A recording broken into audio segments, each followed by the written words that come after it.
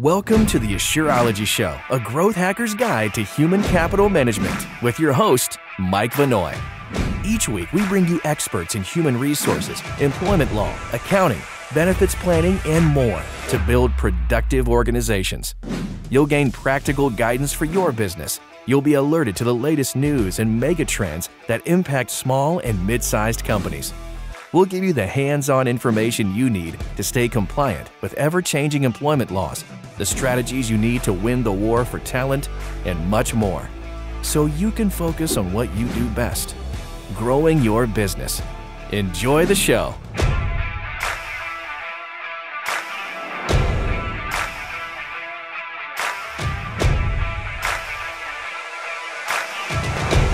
Entity classification the tax advantages of filing as an S Corp instead of filing a Schedule C. Hi, I'm Mike Vannoy, Vice President of Marketing at Asure Software. Uh, th- this is a really, uh, I think, wonky topic that a lot of entrepreneurs don't necessarily think about, but it's one of the easiest ways to add money to the bottom line by cutting out expense uh, from their business. Uh, you're going to have to hear it from a CPA to really unpack this information, but there's some, uh, most companies most entrepreneurs, you know, they, they hang a shingle up for themselves. They are a great carpenter. They're great at doing hair. They're a great artist. They're great at whatever they do. And as they add employees, they're unaware of the tax ramifications of some of these decisions, or may I say, non decisions. So, uh, I have the perfect guest for this topic today. Uh, uh, JJ, uh, the CPA, Joshua Jenson. JJ uh, is a national speaker, author, practicing CPA with 30 years of public accounting experience. His YouTube channel, JJ the CPA, has over 79,000 subscribers, more than 6.6 million views. Uh, JJ has authored two books. He's traveled over 50 cities presenting tax courses to thousands of fellow CPAs, uh, covering the latest tax laws and strategies. He's founded his own CPA firm at the age of 25 and still serves and advises his own private clients today. Uh, JJ also manages his life and disability income insurance practice Jason, uh, Jenson Insurance. J, JJ, welcome back to the show. Hey, thanks, Mike. I appreciate that. You're right. This is such an important topic, and what I love about Asure and what you all provide, uh, not only to your customers but the business community at large, is just basically putting a spotlight spotlight on really important issues just like this. Yeah, and so a lot of what we talk about on this show, you know, it's really payroll centric. It's HR stuff, how to build greater, better teams, uh, be more productive, stay compliant in the process. Um, but this one is this one's kind of tax CPA wonky that I think uh, a lot of entrepreneurs miss because as they go from zero employees, they hang on the shingle for themselves. All of a sudden, they start to grow and they become a 10, a 20, or 50 person company uh, they're unaware of some of those tax advantages for a different type of entity classification. So maybe maybe before we start getting into specifics about why you should classify yourself as an S corp, can you even just explain what, what does entity classification even mean? And then let's kind of walk through the, the, the, the most common types. You bet. So the biggest thing for most small business owners, and I'll be honest with you, even still today, I'm surprised that fellow tax pros, bankers, uh, other type of professionals that work with small businesses that really can't get this very beginning part straight, which is this. When you're talking about your legal formation, so what kind of legal entity are you? That is strictly with the state that you're in, with the Secretary of State to be specific. And you're either an LLC or you're an Inc or you're a limited liability uh, uh, partnership. There's not that many really to pick from, but really think of it as that is then your start point, and that's how your business comes alive. Then when you say entity classification, that is only then determined with how you plan to tax yourself or your business with the IRS. And there's really not that many to pick from. Uh, really starts with if you're just basically a very, very small entity with very uh, little net profit, and maybe you're unsure if this is going to be something long term. You can be a sole proprietor filing a Schedule C. If you're a farmer, it'd be Schedule F. If you are then a uh, have at least two owners, you can be a partnership, um, or if you've got one or more owners, you can be an S corp or a C corp. So those are the entity classifications that you pick from after you determine how you want to be taxed, uh, really at the entity level uh, in terms of your legal designation. And I'll just say this: if you're an Inc., well, then you can only be an S corp or a C corp. If you're a LLP or some kind of LP limited partnership, well, then you can only be a partnership. Uh, what we recommend, and it works really in most states, and it definitely works in mine, is that you just simply be an LLC, which is a limited liability company. And the reasoning for that is that the IRS allows an LLC to be then taxed as anything from the standpoint of you fill out a form 8832 and you literally check a box of how you want to be taxed, whether it's a disregarded, which just means it doesn't file a separate return, or an S corp that then requires you to take an extra step, which we'll talk about or to be a corporation. And then you start filing the tax return based on how you've selected your entity classification with the IRS. And then here's what's key. Whatever you elect to be taxed as with the IRS, then that's how you're going to follow the tax laws. So there's not laws specific to LLC or Incs or LPs because what the IRS looks at is, well, how are you taxed? So that's the biggest thing that I think people miss is they get caught up in getting confused on these two issues. But really, when you understand it, like we are talking now, yeah. hopefully it kind of clears the smoke and lets you know kind of what you want to be focusing in on, which in my opinion is yeah. having legal protection. That's why you have the entity set up with the Secretary of State. But then what's going to yield the most tax favorable circumstances for the kind of business that you're in? And I think a lot of entrepreneurs, if you're the kind of person who's willing to take the risk of putting a shingle up for yourself and you start your own business and you're the you're the only employee, maybe sole proprietorship just that kind of resonates with your head and so you think, okay, that's what I'm gonna do. Oh, but you've also heard that you want to limit your liability, so I should probably set up an LLC, a limited liability corporation. Um, and it's more about I, I, think most entrepreneurs understand the limitation of liability. We don't have to spend a ton, ton of time there. Um, but no thought is ever given to the taxation. Um, so I, I, we're going to spend the meat of our conversation on S corps and, and, the taxation uh, uh, uh, aspect, but I, I don't want to assume with too broad of a brush that this is automatically the right decision for everybody. Can you maybe uh, uh, unpack what would be some of the reasons why someone might, you know, you alluded to one, but why why would someone be a sole proprietor? Is there a good reason to ever stay a sole proprietor, partnership, etc.? Yeah. And the, the one thing I always tell people with even my own clients, if they're starting a new business is day one, step one, set up an LLC because you've separated that business from you personally. You've taken that first step to the liability protection. And as we just indicated, you can be taxed as anything. And so the next step is if somebody's just really starting the business, they're maybe not sure that they're going to continue it. They want to kind of dip their foot into the deep end and see, is there really a business here? Then I say, you know what? Just be a sole proprietor, file a Schedule C, and really remain that maybe until you're netting regularly, maybe more than 20, 30,000. And then you should start considering your other options. And the reasoning for that is that when you're a sole proprietor, that's filing a Schedule C. That would be an LLC, single member, filing a Schedule C. There's lots of terminology that people come up with. But at the end of the day, if you are filing a separate return and you become an S corp or a C corp, there's going to be a separate bank account required. Financials are going to be needed. There's going to be more sophisticated, basically tracking of your income and expenses expected not only by the IRS, but the banks and third parties that you may be relying on. And that all then equates to cost. Right. And so what it really comes down to with my clients is I say, Hey, listen, until you hit about 20 or 30,000 net, you're probably going to then basically pay self employment taxes to the same amount that you would probably have expenses to take your business to the next level with the sophistication of doing something else. And so, like I said, many clients, their first year, we got them as an LLC. We filed a Schedule C.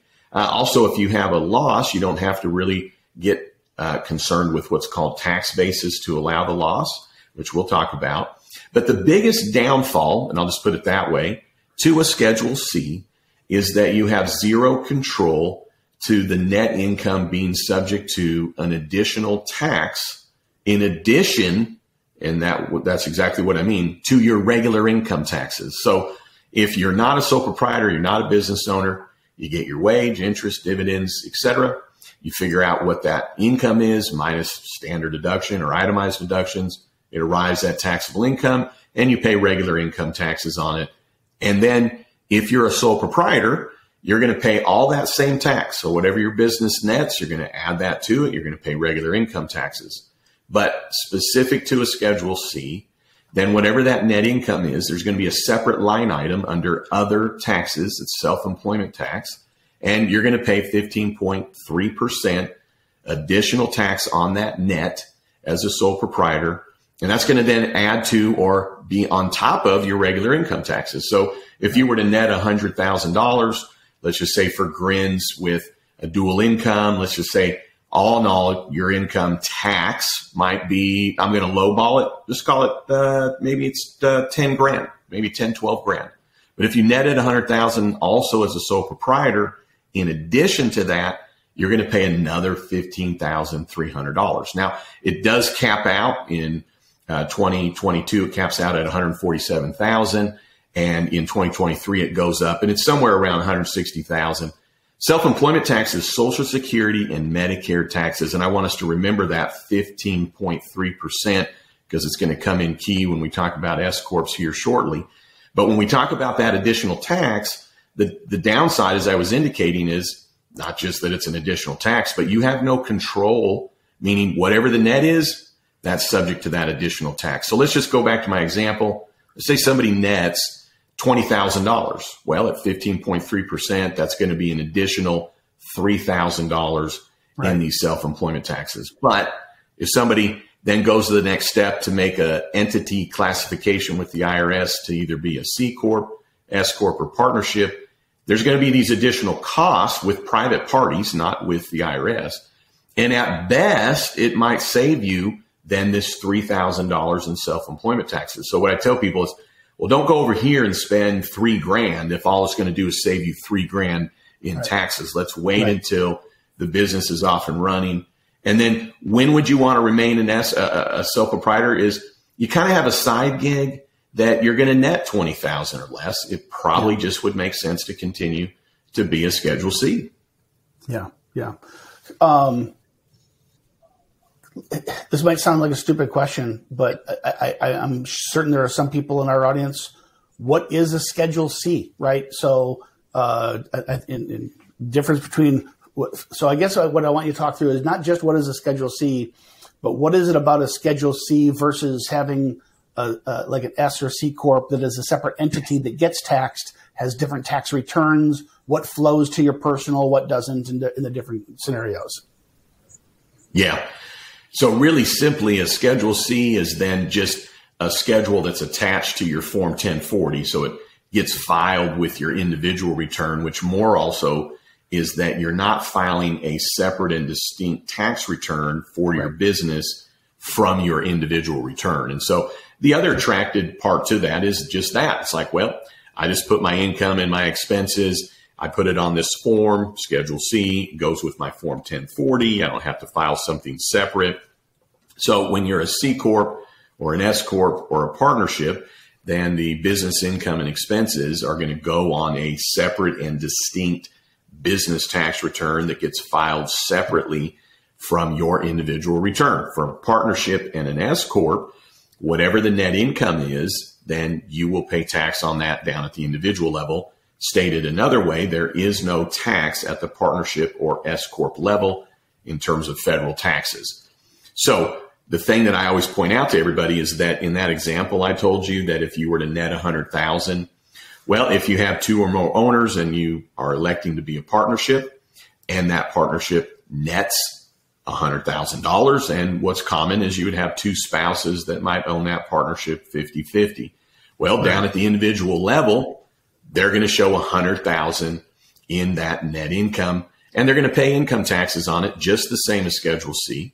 Works just the same with an S corp. If that were to net a hundred grand, well, because that S corp uh, has what's called a Schedule K one, that then gets reflected and that owner, the individual, they're going to then pick up the hundred grand. So as you can tell, no matter where you have your business and how you elect for it to be taxed, someone's paying tax on that hundred thousand on the net.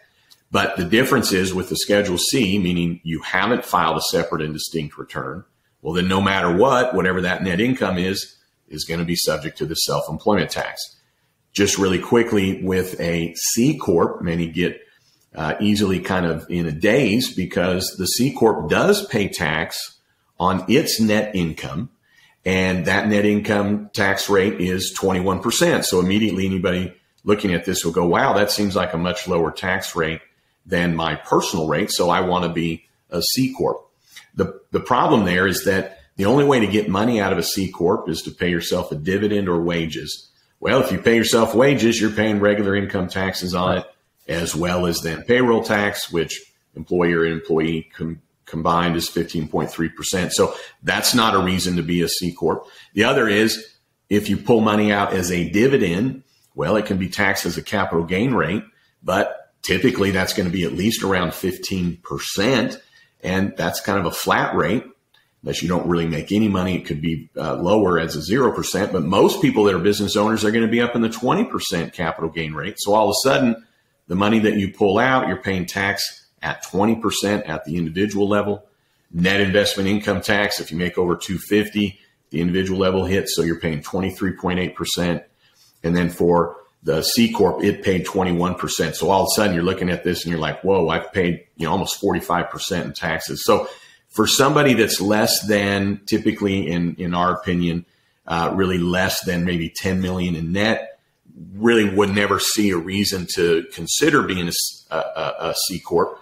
But of course, there's people that can listen right now and have a whole bunch of reasons why you should be a C corp. I'm just saying, in general, one to two owner, ten or less owners, you're netting less than 10 million. Not really a great option there for you. So, really, at the end of the day, then that's where. We, with a C corp, is there an advantage over S corp uh, for retained earnings? Like, so it's it's it's more expensive to pull the money out. But if if you got you know you got a great business on your hands, maybe it's still under 10 million, but you're trying to build something big. You're trying to build a 10 million, a 20 million, a 50, 100 million dollar company.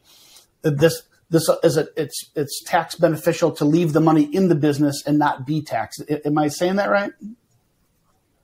Yeah. So really, the thank you uh, for that clarification on that. So yeah, if somebody's coming to me and they're building something that they want to have a ton of owners and investors, and they're really just going to pull a salary out. They're trying to put something together to your extent of income. Maybe they're going to go public. They really want to get this up and running and then merge or sell it.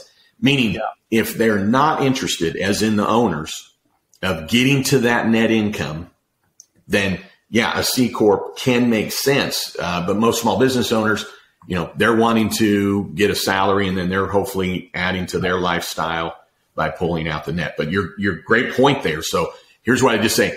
You're going to have a lot of owners, investors, um, and you, uh, and or you want to grow this to then sell it and you're not interested in pulling out a lot of profits, then yeah, the C corp can start making a lot of sense. Yeah. Okay, let's kind of. So I think we kind of covered the the periphery. Let's let's narrow in here on on S corp. Why? And, and, and, you, and you've given a couple of use cases, but let's really break it down. What, why entrepreneurs should do it? You've, you've kind of said that, but then what do they need to do, and what is the specific impact of filing, uh, changing entity classification? So I'm rambling here, but what do they first need to do to, to change classification? And then what do they need to do from a tax filing perspective? Then let's talk through some use cases about, you know, before after impact. Yeah. So with an S corporation, typically if the client is going to be actively involved in their business, then the S corporation is really just a no brainer. And the reasoning for that is that the net income from the S corporation is not subject to this self employment tax by law. But if for whatever reason, let's just go with at the beginning, you are a Schedule C, so you're not filing a separate return, but you are an LLC, then There's a form 8832. Again, it's a check the box. It's actually says at the top entity classification. And you would follow the instructions, which are pretty straightforward, and check the box that you now want to be taxed as a corporation. And then you would then file a form 2553. That's a separate form with the IRS. Again, pretty straightforward. But the form 2553 says, well, I want my corporation to be taxed as an S corporation. Now, I'll just tell you this.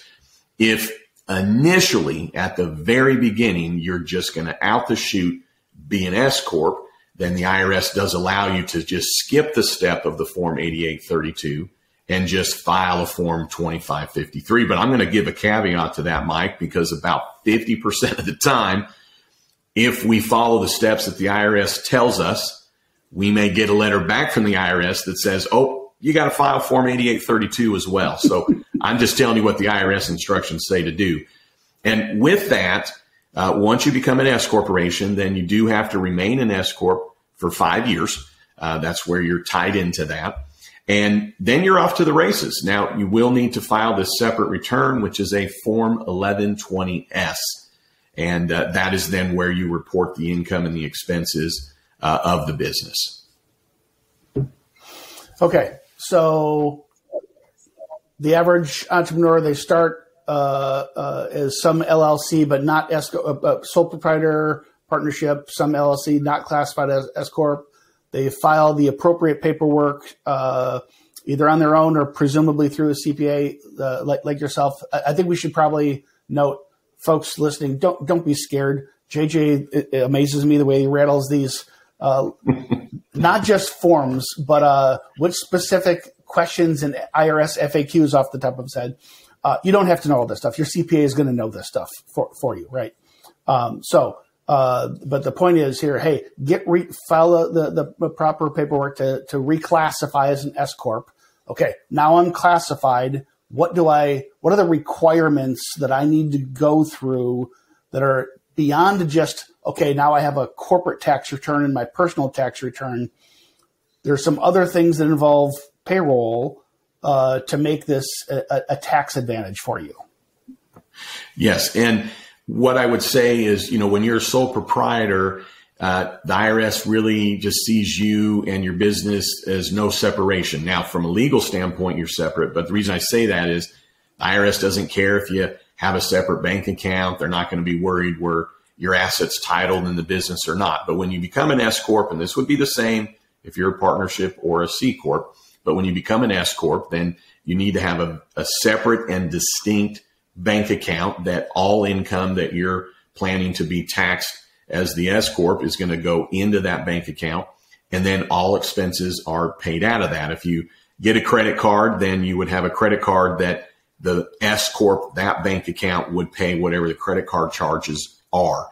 And then I, this is where uh, we get into a lot of opinions amongst tax pros and uh, CPAs and EAs in terms of now the next topic, which is having payroll to yourself as an owner. So what the IRS looks at, and this is where it gets into opinion, is that technically the IRS doesn't require a wage to be paid to an owner. And when I'm talking about require, I'm not talking about our emotions about it or what we think or folklore, or if the IRS were to audit, they would say, where's the wages? I'm just saying when you go to Form 1120S and when you look at the rules and the law, there is there's actually no requirement, and that's where then the S corp can get a little dangerous because people look at it and they either come up with an opinion of, "Well, I don't have to pay myself anything." So what comes into play is that the IRS does indicate that a reasonable wage, reasonable compensation does still need to be paid to the owner.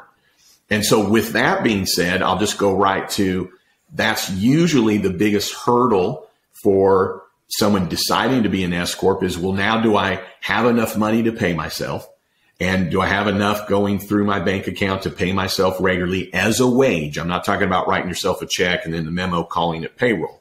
I'm talking yeah. about yeah. through what we're getting ready to talk about. But yeah. then there's a cost to it.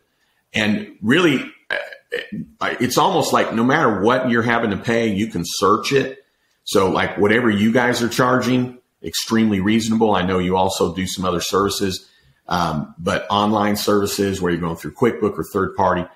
But Mike, on this issue, that it's just some expense to it, uh, a monthly and quarterly and annual expense because of all the things that have to be filed. So what's then a reasonable wage? Well, that's where the crux comes in. And so I really tell my clients this. A reasonable wage is first based on your cash flow. Second, it's based on availability of your cash flow. Third, it's based on, well, how much money you're actually pulling out for yourself.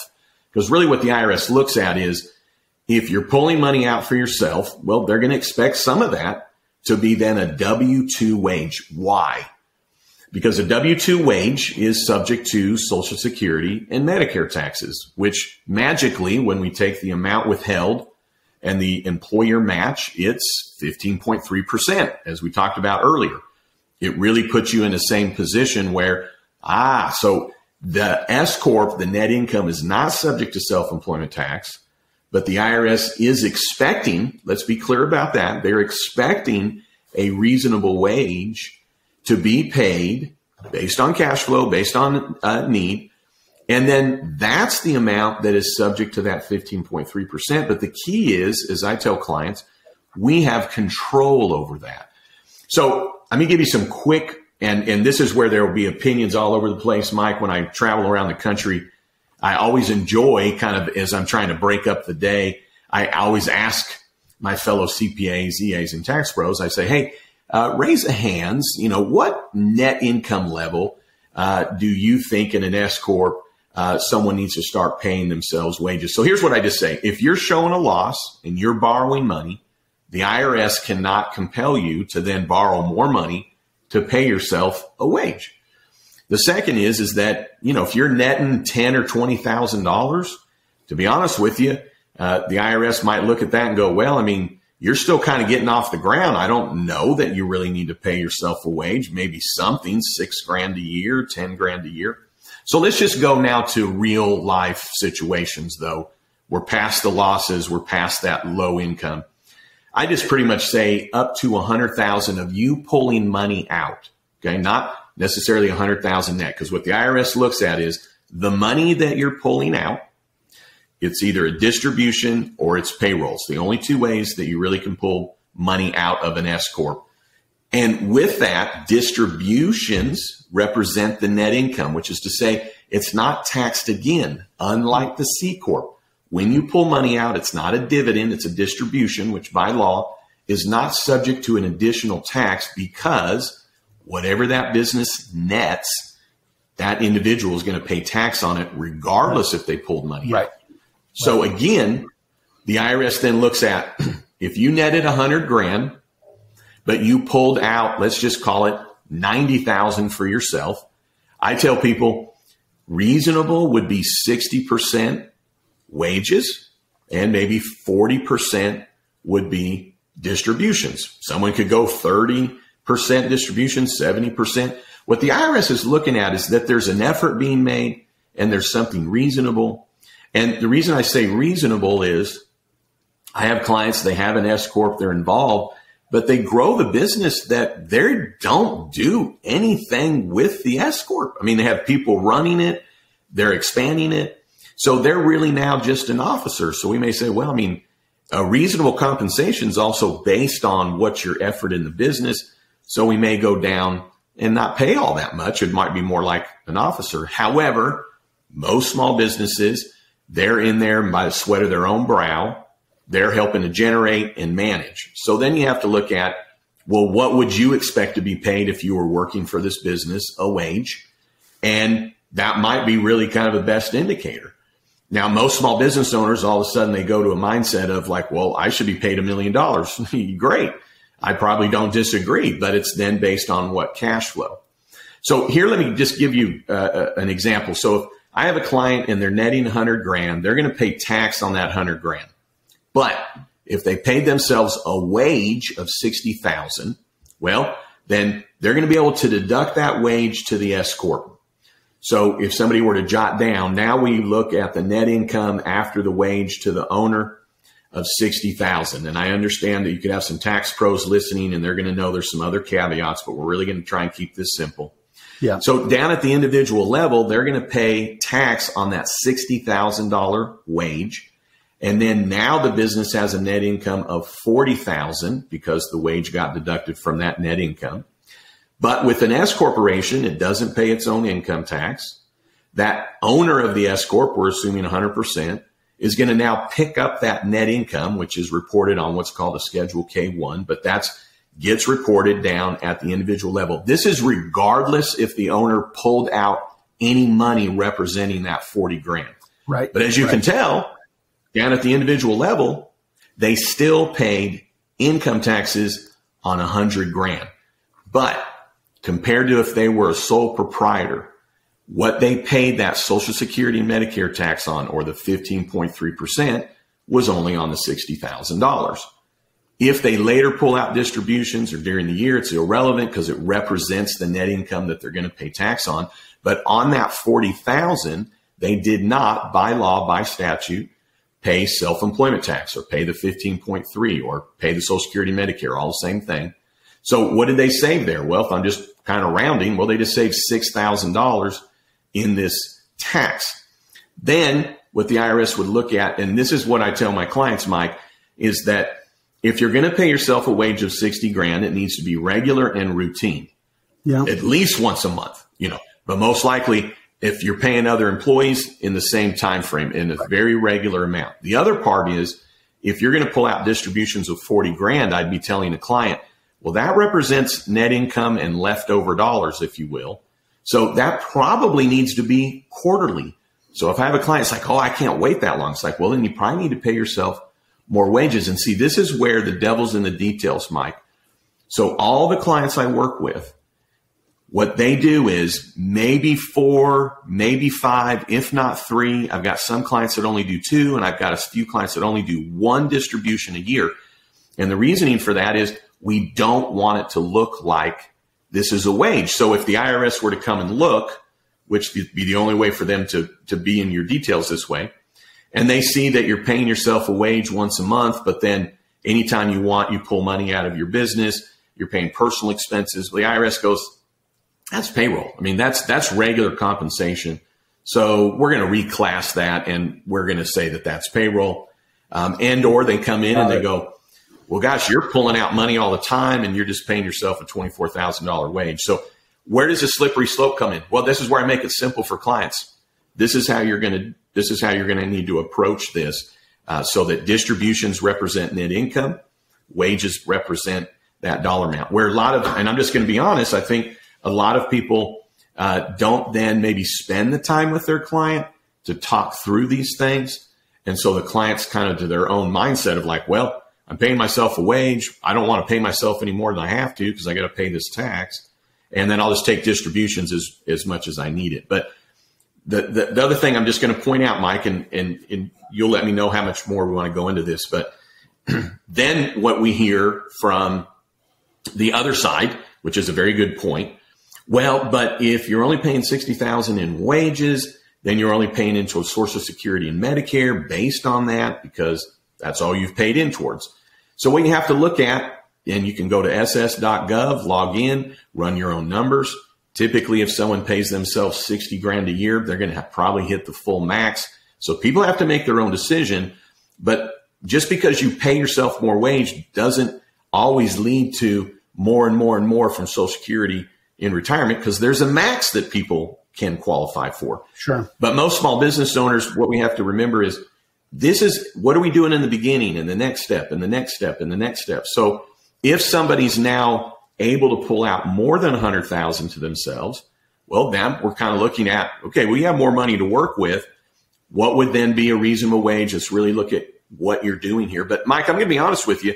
The client that does one distribution a year, Okay, they pay themselves uh, two hundred and forty-four thousand a year to max out the retirement. Uh, they have about ten employees. They work every day, and they pull one distribution a year, and it's about one point five million dollars. So the two hundred forty-four thousand. Well, we've paid the max Social Security into the IRS on those wages. That's very reasonable based on what this person does, and them pulling out that huge amount once a year as a distribution, pretty clear that's not payroll. Pretty clear that's based on distributions. So right. I don't know how the IRS could combat. So it's not just always laid down as, well, the money I pull out, I got to do a certain percentage of payroll, at least in my mind. Okay. So what that requires, Mike, is that you have a relationship with your tax professional to talk it through and vice versa. A tax professional take time to talk with their client to kind of figure out what they're doing. Because I'm telling you, the client that uh, we do an annual wage of 6,000, well, he has four S corporations and one of his S corps, he pays himself 244,000. Two of his S corps, he doesn't pay any wages out of it because there are no wages out of it. It's completely pretty much a a conduit in between several companies. And then the one, he's got all these employees running. He pays himself 6000 So with this, I, I know we're kind of getting beyond the step of sophistication, but I'm more kind of pointing out that you have to really look at the facts and circumstances, but hopefully I've kind of laid out enough to give some ideas of, well, when do these things come about? So, so I'm gonna I'm gonna attempt I'm gonna attempt to kind of recap a super simplified version. You tell me if I'm understanding it right. So I'm an entrepreneur. I've got a nice business on my hands. Uh, I'm, I'm generating $500,000 uh, a year in revenue. I've got $400,000 a year in expenses. So I got a 20% margin business. So I, I have $100,000 left over. Regardless of how I think about classifications, I've got $100,000 left in my pocket. If I, if I'm operating as a sole proprietor, I got to list all these details on the schedule C for my normal individual tax return. Uh, and so I'm paying full tax on that entire hundred grand. If I reclassify to an S corp uh, and give myself a reasonable wage, and you, you, you, took us through a bunch of nuance about what reasonable may or may not be, but assuming I'm a daily operator of that uh, hundred thousand dollars, if I put myself on payroll and so I'm, I am now a W 2 employee and I'm getting paid biweekly like the rest of my staff for $60,000. Now I'm paying, you know, state, federal, normal employment taxes on that 60. Uh, but I, and I've got another 40 that I is still income to the business. It's still taxable whether I pull it out or, or not. Uh, but that 60,000, so I'm paying tax on it, but now it is a business expense therefore reducing my adding to my four hundred thousand dollars expenses. It's now four hundred sixty thousand expenses. The business only had profit of forty thousand. So what falls to my personal tax return is a smaller dollar amount. The punchline is by simply putting myself on payroll, I'm literally reducing my tax burden. I'm going to incur some additional expense because I've got to pay for payroll. I've got to have the separate bank accounts. I'm going to have a little more money flowing to my CPA. Uh, but in general, in that scenario, we're talking about a roughly $3,000 versus $6,000. Uh, if you got 100,000 profit in your business, you could be putting three grand in your pocket just from an entity classification and just simply changing the way you do your, your business as is without a heck of a lot of extra effort. Am I oversimplifying that? Not at all. It was so well stated, Mike. I wish I could. I wish I could say it that simple because you said it so perfectly. The only thing I'll add is on that forty thousand, actually, you'd save six grand because it's fifteen point three percent savings on that forty grand. So you were running a lot of detail. I'm not going to hold you to the math because I tell my own clients, listen, I'm using a calculator. All right, I'm using a calculator, but I'll, I'll just say you're you're saving that fifteen point three percent on the forty grand so it'd save you six grand. That's the punchline. But Mike, really with that, uh, what it comes down to is then does the client want the hassle of all that? And uh, many go, you know what? I don't want the hassle. And there's a lot of tax pros that actually say, I mean, I'd probably say 30 to 40% of tax pros would say, don't become an S corp until you're netting a hundred grand. And that's where I look and I go, boy, if we could save six grand a year, even if you netted a hundred grand forever, if you could save six grand a year for the next 10 years, 20 years, I mean, this starts to be a real dollar amount. Yeah. And maybe not dollars to just go out to eat more often, but maybe you're now using that because before, if you're, and I'm just going to use the term because I do it on my YouTube channel, if you're going to be lazy, you're going to be a lazy tax preparer And uh, don't, don't use that on a thumbnail.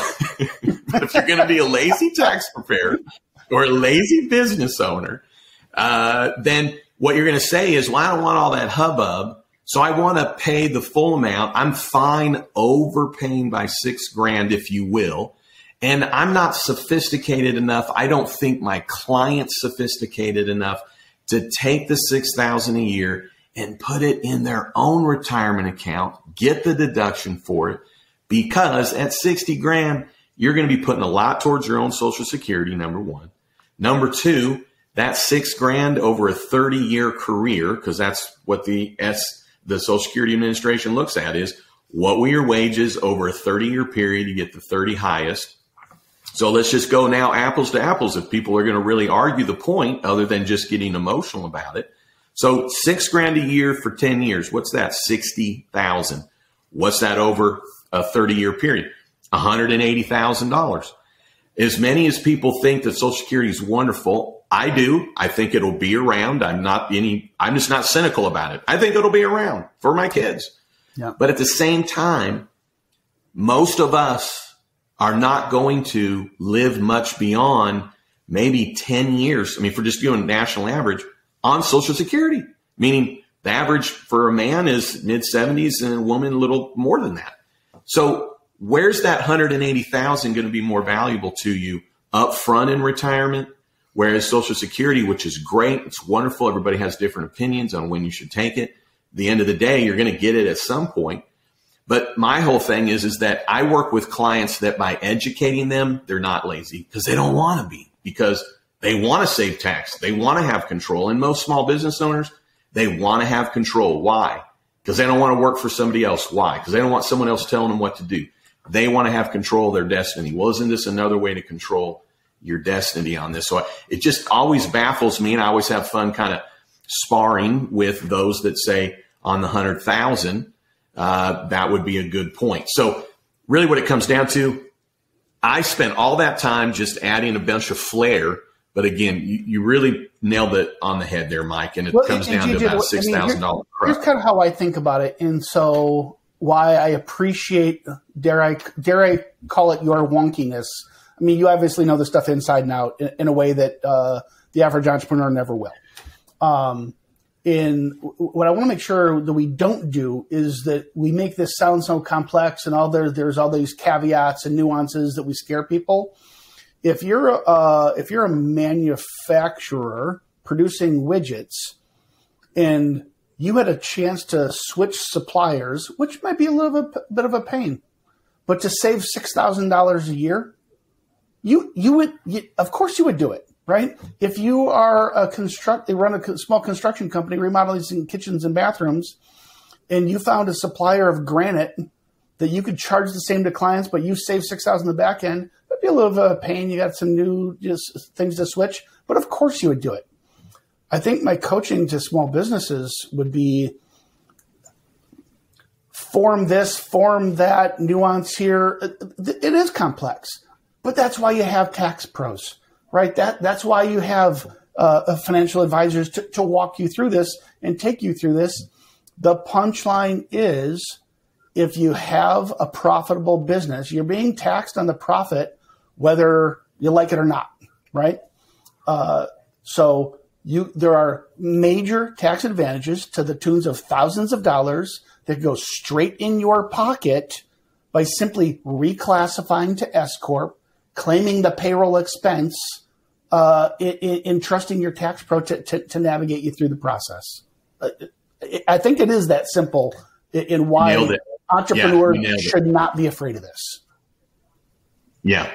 Well, Mike, I'm going to be taking notes after this because you've given me some good language to add to some of my videos. You know, as a CPA, our training, you know, same with EAs and tax pros, you know, we know that, well, you got to do these little things. It's, you know, I get caught up in that a little bit because it's like, well, to actually do it. But, but let me, let me just add to what you said by saying it's actually only complex the first day, meaning right. you set up an LLC at the Secretary of State. Ooh, it's scary. You got it done because you got it done in one day. What'd you immediately do after that? You went to irs.gov and in five minutes you have an EIN.